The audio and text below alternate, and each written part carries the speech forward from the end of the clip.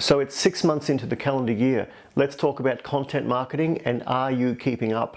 As I've talked about in past quick tips, you need to be putting out regular content, just like what you're watching here.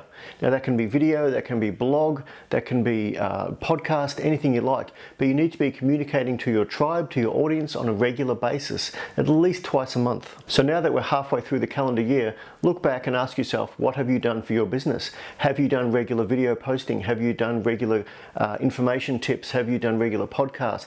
Have you even put photos on Facebook on a regular basis? If you haven't, then you need to employ a marketing agency just like Aus Digital Media. That's what we do, guys. We've got tiered packages to match everyone's budget. Please reach out via the link above or below and we can help you get started in content marketing today.